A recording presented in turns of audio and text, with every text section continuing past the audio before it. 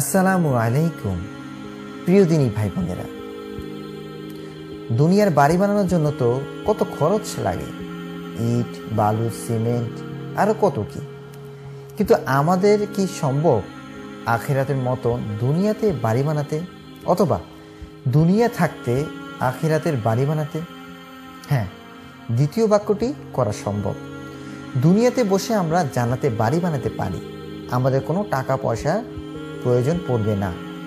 নবী করিম সাল্লাম বলেছেন, মুসলিম বান্দা যদি প্রতিদিন ফরজ সলাদের বাদে বারো রাকাত অতিরিক্ত সুন্নত সলাত আদায় করে, আল্লাহ তাআলা তার জন্য জানাতে একটি ঘর নির্মাণ করে দেবেন। এই হাদিসে মূল বর্ণনাকারী আম্মাজান উম্মে হাবিবা রাজা আনহা বলেছেন, আমি রসুলামের মুখ থেকে যখন এই কথাটি শুনেছি, তখন থেকে আর সলাৎ বাদ দিইনি। হাদিসটির পরেও বর্ণনাকারীগণ বলেছেন, তারা এই হাদিস জানার পর থেকে সেই বারো বারাকাত সলাৎ মিস করতেন না।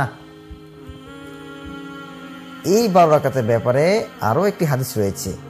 জোহরের ফরজের সলাতের পূর্বে চার রাকাত এবং পরে দুই রাকাত, মাগরিবের ফরজের সলাতের পরে দুই রাকাত, ঈশার ফরজ সলাতের পর দুই রাকাত এবং ফজরের ফরজ সলাতের পূর্বে দুই রাকাত। এইভাবে বারো রাকাত যদি আপনি পড়েন, তাহলে জান্নাতে আপনার একটি বাড়ি নির্মিত হবে।